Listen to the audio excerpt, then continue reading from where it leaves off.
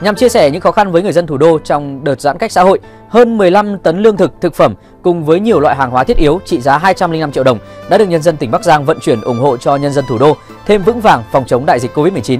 Thành đoàn Hà Nội và các tổ chức trực thuộc đã tiến hành tiếp nhận và lên kế hoạch phân phát tới những địa điểm cần thiết trên khắp địa bàn Hà Nội để ngay sau khi tiếp nhận thì cũng sẽ à, đưa đến những cái địa điểm à, trên địa bàn thành phố Hà Nội mà nơi à, thực hiện những cái việc phong tỏa tạm thời, cách ly tạm thời hay là những khu vực mà tập trung đông À, người lao động khó khăn hay là sinh viên khó khăn à, để những cái à, nhu yếu phẩm này, những cái nguồn lương thực thiết yếu này có thể đến được nhanh nhất, kịp thời nhất đến đúng đối tượng khó khăn và đang cần trợ giúp. Số lương thực thực phẩm bao gồm gạo, mì trũ, rau xanh, nước và các thực phẩm thiết yếu khác được tỉnh đoàn Bắc Giang thu nhận và vận chuyển xuống Hà Nội để đảm bảo công tác phòng chống dịch bệnh COVID-19. Công tác tiếp nhận được thực hiện tại lối ra cao tốc Hà Nội Bắc Giang nằm tại xã Phù Đồng, huyện Gia Lâm, thành phố Hà Nội. Trong những ngày dịch bệnh COVID-19 diễn biến phức tạp tại Bắc Giang, với tinh thần Hà Nội vì cả nước, cùng cả nước, thông qua các tổ chức chính trị xã hội, nhân dân Hà Nội đã gửi tặng nhiều nguồn lực, vật phẩm hỗ trợ và đồng hành cùng nhân dân tỉnh Bắc Giang sớm kiểm soát đẩy lùi dịch bệnh Covid-19.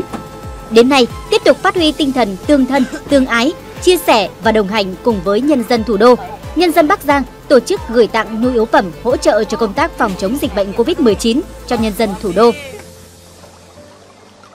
Sau khi đón nhận những tình cảm của tuổi trẻ Bắc Giang, Thành đoàn, Hội Liên hiệp Thanh niên Việt Nam thành phố Hà Nội đã triển khai vận chuyển những vật phẩm trên đến những đơn vị đang có điểm nóng về dịch Covid-19 như quận Hoàng Mai, quận Hai Bà Trưng, huyện Sóc Sơn, huyện Trương Mỹ và huyện Quốc Oai. Các nhu yếu phẩm sẽ được phân bổ đều, phục vụ cho các hoạt động như nấu các suất ăn trong chương trình Triệu bữa cơm Hà Nội nghĩa tình, siêu thị mini không đồng Hà Nội trái tim hồng, gửi tặng cho các khu cách ly, các chốt trực kiểm soát y tế, gửi tặng cho người có hoàn cảnh khó khăn, lao động tự do bị ảnh hưởng bởi dịch bệnh Covid-19. Hôm nay ờ, bên ờ, tổ phản ứng nhanh mình thì có huy động là hơn 40 xe ờ, và vận chuyển đến 7 điểm. Thì anh em là cũng triển khai là tất cả anh em là đều phân ra chia từng điểm một và mỗi một điểm là có 4 xe và điểm nhiều nhất là có 16 xe. À, tất cả mọi người là đều tinh thần sẵn sàng để mà chiến đấu đây là hoạt động có ý nghĩa nhân văn sâu sắc của nhân dân và các cấp chính quyền, đoàn thể của tỉnh Bắc Giang. Nhiều hộ dân, dù cuộc sống còn nhiều khó khăn,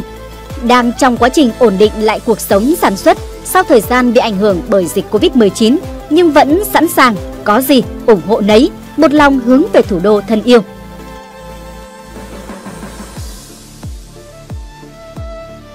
Huy động à, đoàn viên thanh niên à, tham gia ủng hộ à, những cái nhu yếu phẩm à, để mong à, phần nào à, à, đóng góp à, những cái tình cảm của à, đoàn viên thanh niên và nhân dân tỉnh Bắc Giang à, giúp cho Hà Nội à, vượt qua đại dịch. À, trong cái chuyến hàng lần này của chúng tôi thì chủ yếu là những hàng nông sản, à, những à, rau, à, bí, củ quả. À, hy vọng sẽ giúp được à, những à, hoàn cảnh khó khăn, giúp được những cái khu cách ly à, trong cái tình hình khó khăn của Hà Nội hiện nay.